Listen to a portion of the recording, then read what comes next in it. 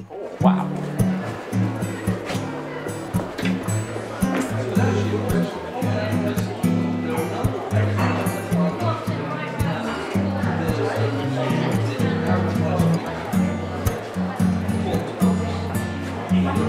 exciting. I can't believe we had 100 people come through the door in the first 10 minutes. Um, it's just it's just amazing. I can't believe people have been saying it's like back in the 60s all over again. Really looking forward to having more events like this and just getting people in, meeting each other, get members to meet each other, associates to meet each other, and the local community to come in, see the artworks and get to know how the gallery works and that they're, they're welcome to come in here and it's an exciting place to be.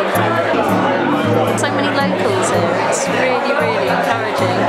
Are just talking and I wasn't sure how many people had come but you can tell everyone's just been chatting and getting excited about the event and yeah, here they are.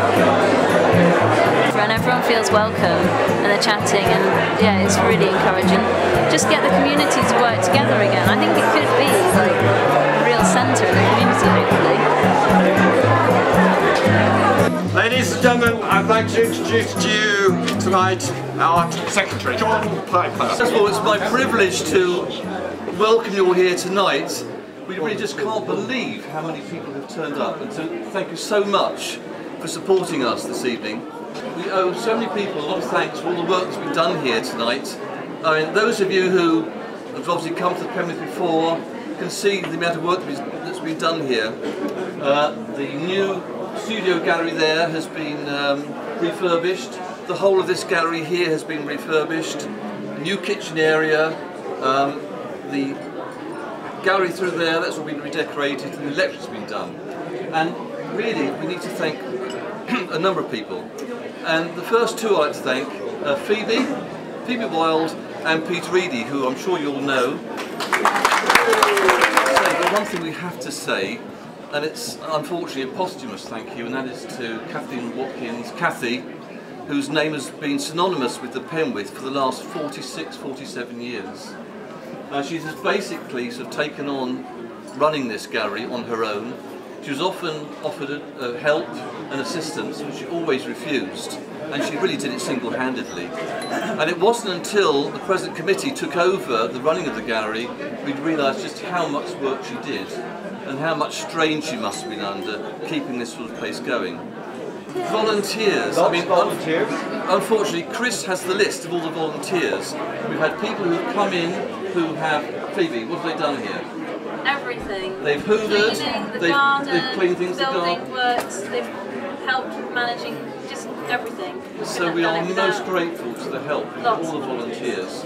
Uh, John Jones, I've seen John here somewhere. Where are you, John? Is that, is that who has done so much work as well. The maestro. Who's done a lot of work. Um, oh, one thing I must mention is we are so pleased to have the exhibition of uh, Roy Walker's work here, and we are so grateful to his wife and family who have allowed us to put on this show. Ladies and gentlemen, we are honoured to have an internationally celebrated British artist who combines fine art, fashion, music and dance in the form of collages performances and installation, who is here in St Ives on the Tate Artist Programme for six months and has kindly agreed to open the show for us tonight. So ladies and gentlemen, I'd like to introduce to you Linder Sterling.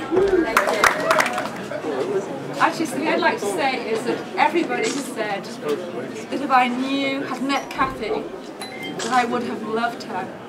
And every single person has said that to me without fail. If I met Kathy, it would have been love at first sight. And sadly, I did.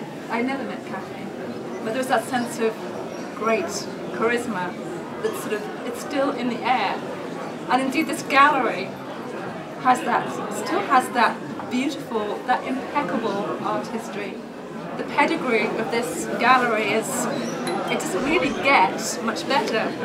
So I'd like to read a quote from the Gulbenkian Foundation. And when they announced their grant for the creation of the first gallery, they referred to the Penwith Society as a nursery of the avant-garde in painting and sculpture. It has produced more artists of standing and more impact on the art world than any other society in the country.